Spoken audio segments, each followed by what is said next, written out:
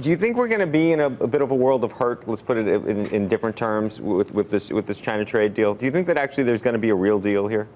I think there is. I'm starting to think that actually even even if there is a real deal, right. that that it's going to be that we're going to get into like a head fake situation where we're going to have a, a, nice little spike if there's if there's sort of a, a, photo op and everything, and then you know 72 hours later, if not sooner, there's going to be sort of a, a, realization that maybe we're not where we want to be.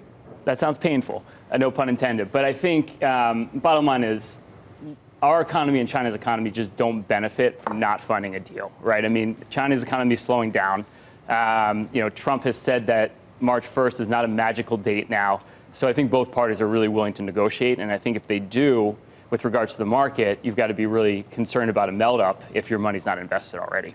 So you think there's going to be a melt up as a result of this? You, are you in the same place? Uh, you don't think it's already just baked in? No.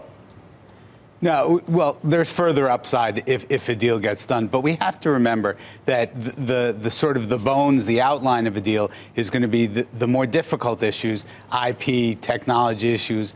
Those aren't going to be settled. It, it, there is a photo op aspect of it, but the fact is, is that you know when you come off the, the fourth quarter of last year, people are underinvested, people are continually nervous, and interest rates, importantly, remain right. low that's fuel for upside in the market. Can you? We were talking about Theresa May and Brexit uh, and the issues going on over there. We talked about the, the German Bund and just how painful that situation is. Talking about pain, Mr. Mr. Payne over here. Is there anywhere in Europe right now you think you see value?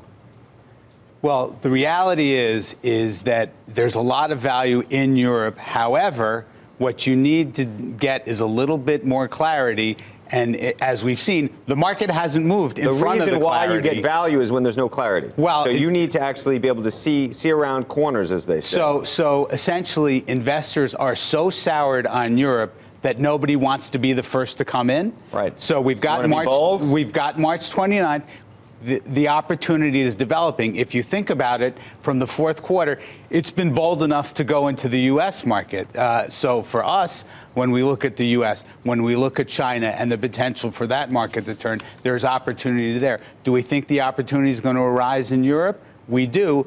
But the other question about Europe is how much of it is dependent on China re-stimulating to help backstop Europe. So you have two things going on solving Brexit or developing a, a, story for Brexit and China flowing through to Europe. We do think eventually they'll, but there is going to be time to buy Europe. Would you buy Europe now? Oh, I would, totally. I mean, you I, would. So you well, jump before he does. Well, the bottom line is right. When, once we know these things are settled, the opportunity is lost. And right now, you have a valuation gap that you haven't seen in a long time between the U.S. and Europe. It's like you've got to take advantage of that opportunity while you know there's a lot of uncertainty. And I think that also plays back into the whole China deal. If that happens, that could be a huge catalyst for Europe.